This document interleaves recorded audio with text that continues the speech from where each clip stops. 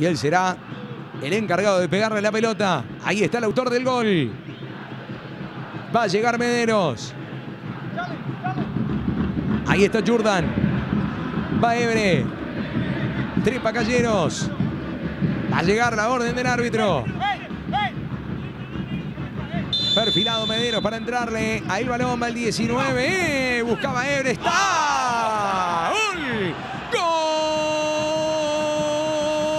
Para mí. ¡Gol!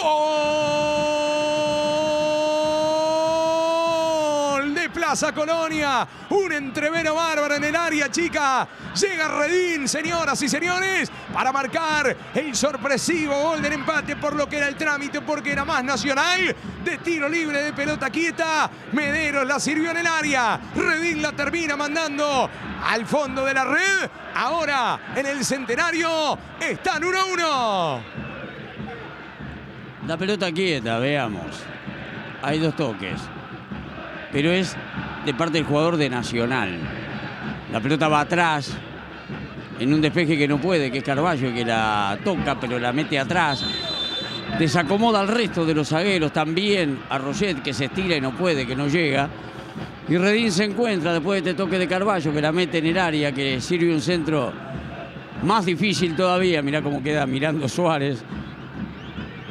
Entraba Jordán y también entraba Redín. Redín la toca.